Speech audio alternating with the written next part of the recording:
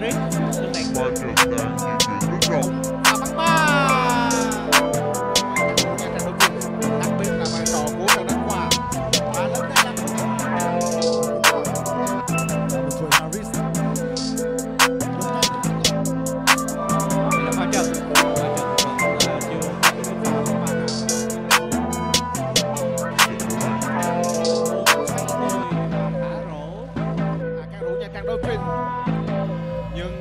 24 giây. Đang là số 3 qua người. Được truyền cho Lamontre Harris lời rổ ghi hai điểm thành công cho nhà này trở nên nghiêm trọng hơn. Lamontre Harris và một pha thi đấu đầy nỗ lực. Và lên rổ của pha trận không thành công nhưng đã có Harris và anh đã tận dụng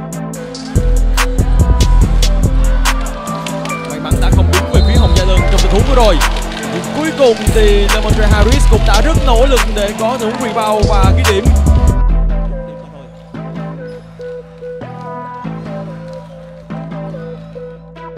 Tốc độ và công này lên quá cao. Lamontre Harris ném bóng rất chính xác.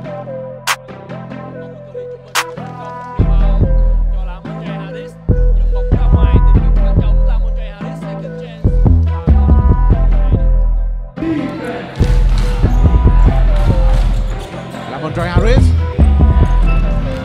Vẫn đang là Lamontre Harris Harris